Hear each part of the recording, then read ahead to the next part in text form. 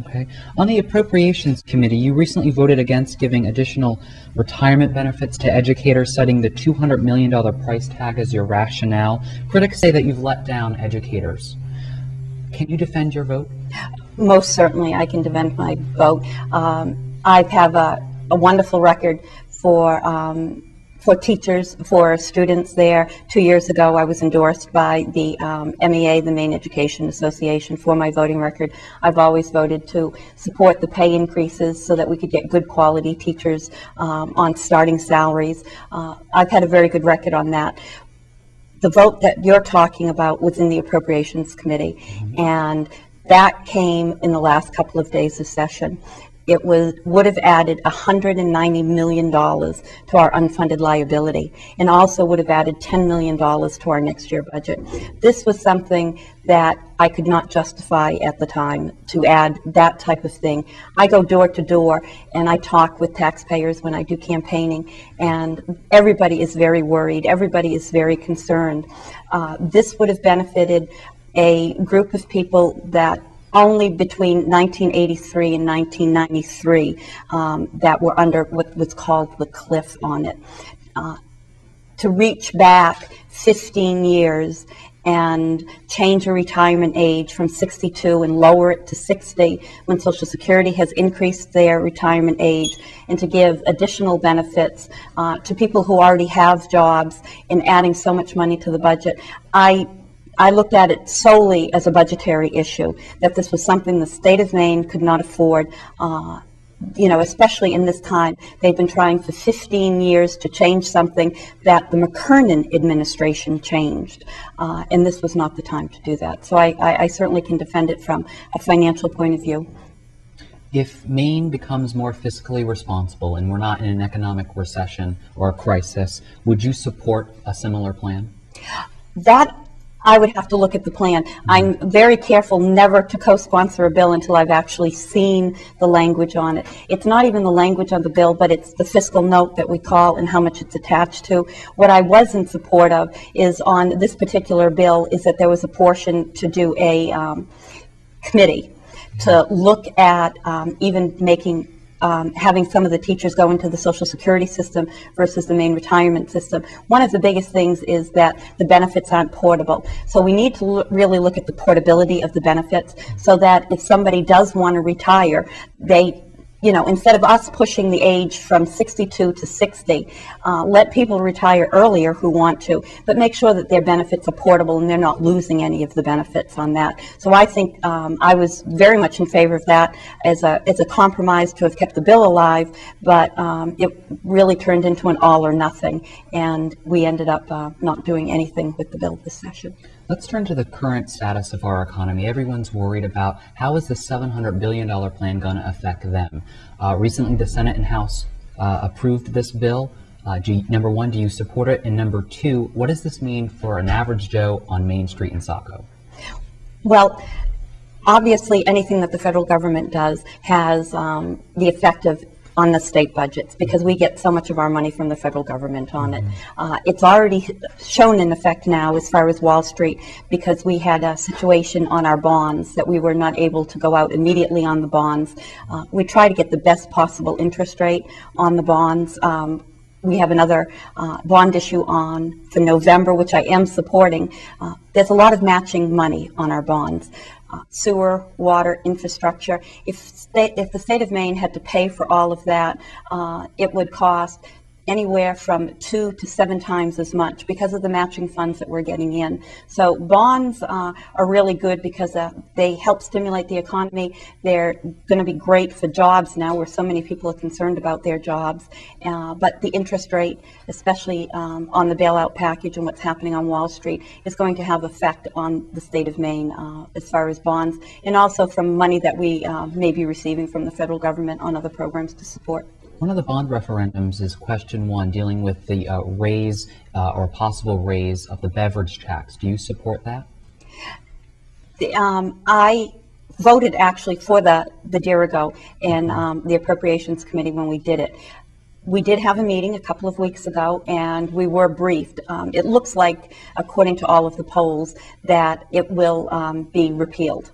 Uh, so the um, Appropriations Committee did sit down with all of the finance people to see what we would do um, if it was repealed. And I feel fairly confident that um, the Dirigo program will still just go back to the old SOP, the Savings Offset Program on that.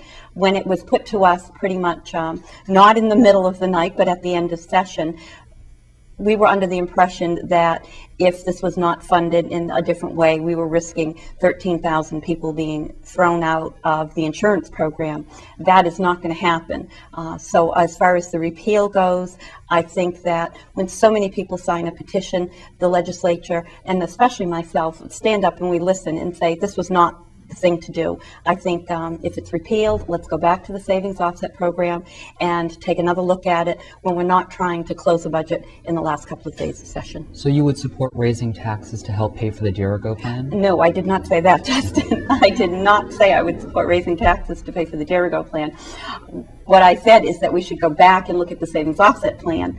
The savings offset um, is the Dirigo plan was uh, initially set up to help save money in insurance costs by doing a lot of preventative care. Because if we can prevent somebody from getting a disease or having a disease at a later stage, then it costs a lot less to the general public. Um, my husband is a good example. He had prostate cancer, was diagnosed, and he had his prostate out in July. Now, if he hadn't have gone in for his routine PSAs, routine physicals on that, the prostate cancer could have gone to an advanced stage. So instead of going into the hospital, having a laparoscopic surgery, um, coming home the next day and having a two-week recovery uh, with no radiation and no chemotherapy, if we hadn't have done preventative um, on these physicals, this would have cost, you know, 10 times, 20 times more, plus the recovery period would have been longer. So Dirigo is to help people prevent a lot of these, these diseases from going into to later stages um, and, and helping people on that. So I'm not in favor of raising any taxes. I'm in favor of looking at alternative ways to, to save money. So you do not support raising the beverage tax to pay for Dirigo? At this time, I will probably vote against, I will probably vote to repeal it also. I Okay. think that the citizens have given me a very loud Mm-hmm. um, saying that they want it repealed, Right. and I feel confident enough after our meetings a couple of weeks ago that if it is repealed, we can still work something out to do it. But um, people have spoken, and they don't, they don't want it, Mm-hmm. and we should listen to what the people have to say. Okay. There have been rumors circulating as to your political future, your political intentions. Have you given any thought as to what's next for Linda Valentino? Well, I don't know about any rumors for my political intentions. My, um, according to the Constitution in the state of Maine, we have term limits. So I've served four years. If I get reelected, there will be another two years. I can only serve eight years. At the same time that I was elected, uh, Senator Hobbins came in um, and was elected senator. So basically, Senator Hobbins and I will both be termed out at the same time. So my only plan would be to run for Senator Hobbins' seat when he's termed out, but that would not be for another four years. Beyond that, I have no plans for leadership, for governor, for Congress, for anything else. Uh, I like being right here in Saco, and I feel a very close bond with all of my constituents. Okay. In two minutes or less, state why you should be reelected. why I should be reelected, I feel, first of all, I feel I've done a good job. That's the most important thing, that I have been very independent in my votes. As I had mentioned to you earlier in appropriations last week, there was um, an article before us to purchase a new airplane. And I was the only member of the Appropriations Committee to vote against buying a $280,000 Cessna 180 airplane to basically patrol the highways and catch speeders. Uh, that it went through. Appropriations Committee decided to buy the airplane, and I was the only one to vote against it. Four days later, um, after it gets out that why is the state of Maine buying an airplane, some members of the committee changed their mind and said, let's reconsider the vote. So I feel that Um, I've been very good to be able to stand up for what I feel is right. And I know the old saying is um, in order to get along, you have to go along. But I also feel that we have to do what's right for our constituents back home and not necessarily what may be right for me to make it easy on my fellow committee members. Probably the most important reason to for being really elected for any incumbent is the seniority that you have where I've been there for four years. I'm on an extremely powerful committee now, the Appropriations Committee. I do a lot of work, and if I hadn't have been there in the several instances, such as the Thornton Academy, Saco may have um, been more deeply hurt on this, especially on the school consolidation where I fought to keep in school choice to make sure that everything was protected on that. So I think um, I've been very um, aware of what's going on in Saco, having been brought up here and gone to grade school here. Once again, thanks for coming on the program. Thank you so much, Stephanie. Thank you.